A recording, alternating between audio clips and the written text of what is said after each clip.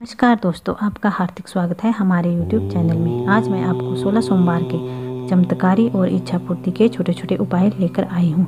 ये छोटे छोटे उपाय बहुत ही पावरफुल और कारगर हैं। आप एक बार इन उपायों को आजमा के देख लेंगे तो बहुत ही अच्छा होगा। अगर आपके घर में पैसे की आए दिन किचकिच रहती है तो आपको करना ये है कि आप सोमवार के दिन शाम के समय नहा धोकर शिव मंदिर में जाकर या ये उपाय आप अपने घर में आराम से भी कर सकते हैं। आपको करना क्या है कि एक आसन लेना है, उसमें आप पाँच मिनट तक बैठ के ओम सोम सोमाय नमः का मंत्र का जाप करना है। यह बहुत ही कारगर उपाय है।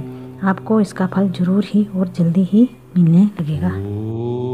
दूसरा उपाय यह है कि सोमवार के दिन आप सुबह सुबह नहा धोकर खीर का प्रसाद भोले बाबा को लगाते हैं तो आपकी कोई भी मनोकामना पूरी होगी। यह उपाय आपको हर सोमवार को करना है, जब तक आपकी कामना पूरी नहीं हो जाती।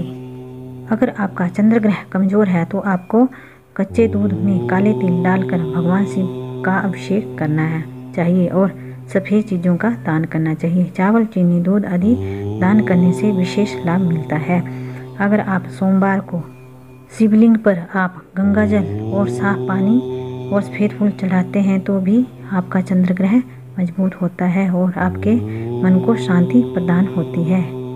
यदि आपका बृहस्पति ग्रह खराब है तो आपको करना क्या है कि वीरवार के दिन थोड़ा सा कच्चे दूध में केसर या हल्दी डालकर शाम के समय शिवलिंग पर अर्पित करने से गुरु ग्रह के अशुभ फलों से शांति मिलती है।